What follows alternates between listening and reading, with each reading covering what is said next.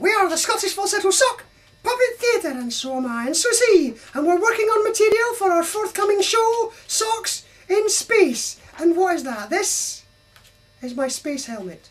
Work in progress, work! Very much in progress. This is a prototype. Right, let us do Forbidden Planet. I know the one you mean. Seriously, you never know anything. I know this one. Everyone knows this one.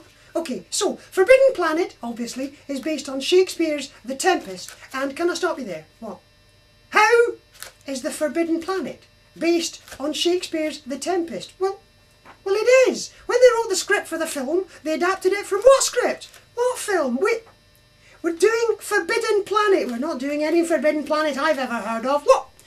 What Forbidden Planet have you heard of then, if it's not a film adapted from The Tempest by Shakespeare? I have heard of a planet that is so forbidden that you cannot even say its name.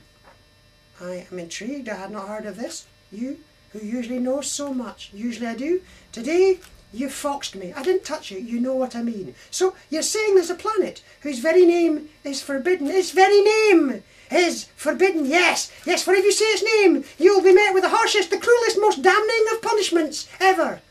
Damning, dam- damning punishment, yes. No, what is this punishment if you say the name of the forbidden planet? You will be met with laughter. Laughter. That's what you want us to avoid. Well, you're doing a very good job of it today. Yeah, no, no, it, no, it is written, none shall see the name of the forbidden planet for fear of its Uranus, isn't it? He said it! He said the forbidden name! All this was a build up to a Uranus gag. Smite him! Smite him! Pillory him with your withering derision! It's pronounced Uranus, by the way. Is it? Oh.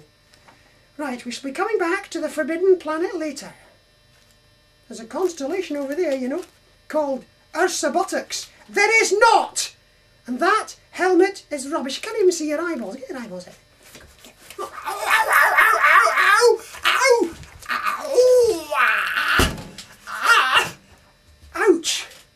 That hurts. Now, you look like you've got a goiter. Or like one of the dominators of a Patrick Troughton's Doctor Who. I shall, I shall work on that adaptation for later.